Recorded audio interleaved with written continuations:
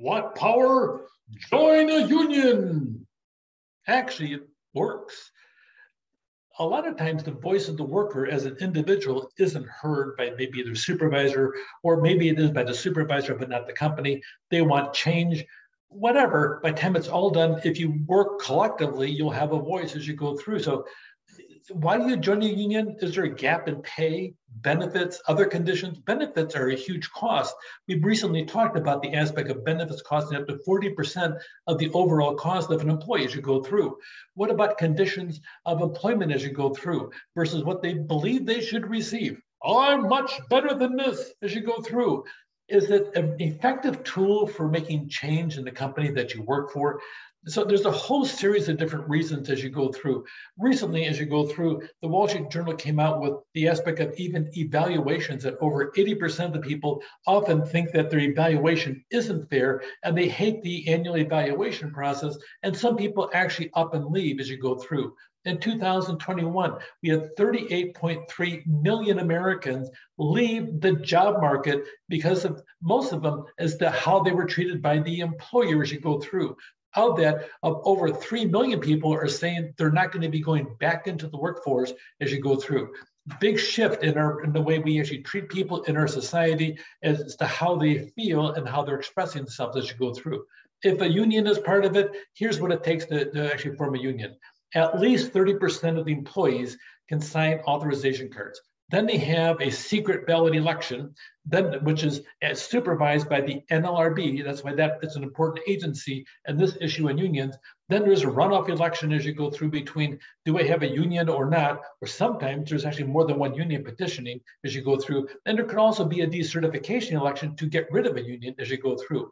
Here's a sample of an authorization card. If you ever see one of these, you'll have an idea this is what's turned in. This is at 30% as you go through.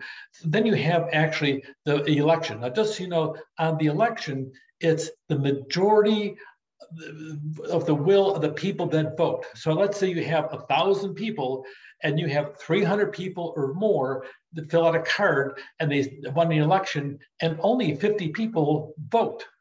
Well, 50 people vote, it's the majority, so 26 people can make that decision as to whether or not there's a union for all 1,000 employees.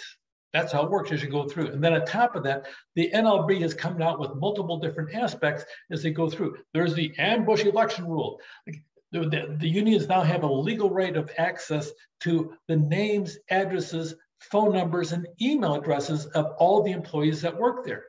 I don't know if I want a union bothering me on my personal email. I don't know if I want a union knowing where I live. What if I don't like the union and I have people picketing my house or throwing rocks through my front window? And by the way, that is not that far fetched as you go through.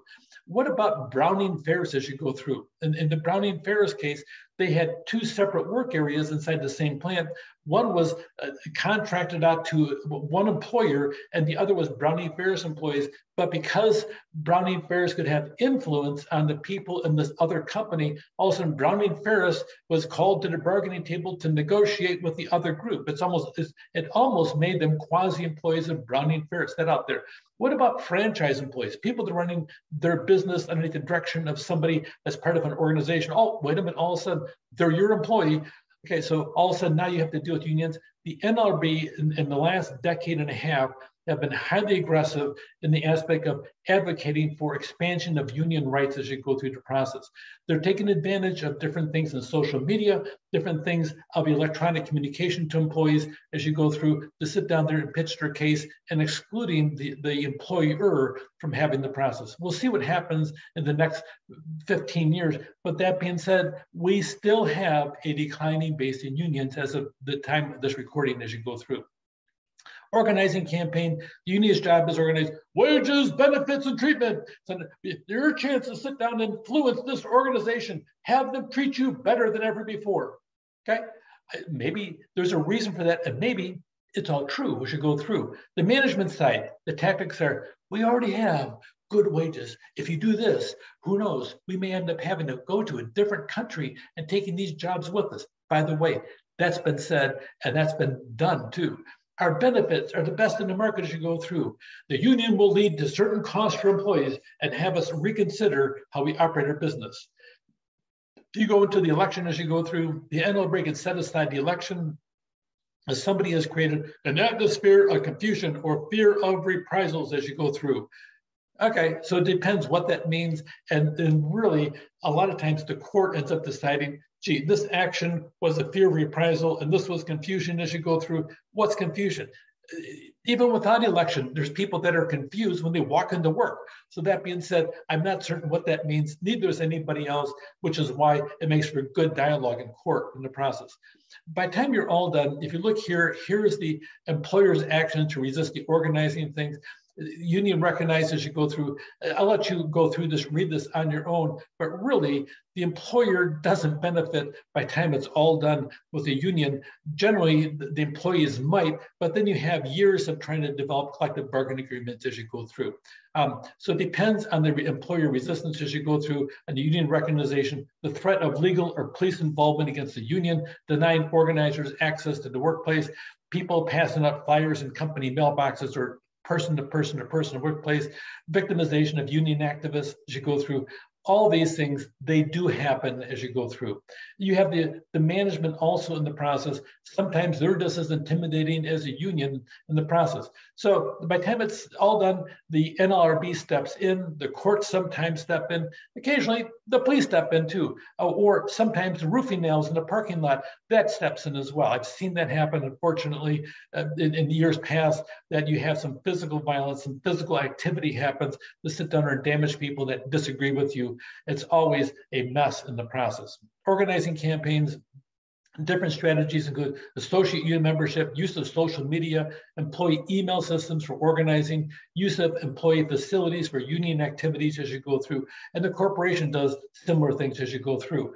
Sometimes RICO gets involved when you have a corrupt union, and that's a federal crime in the process as you go through. So there's different aspects, strikes, negative publicity can pressure corporations as you go through.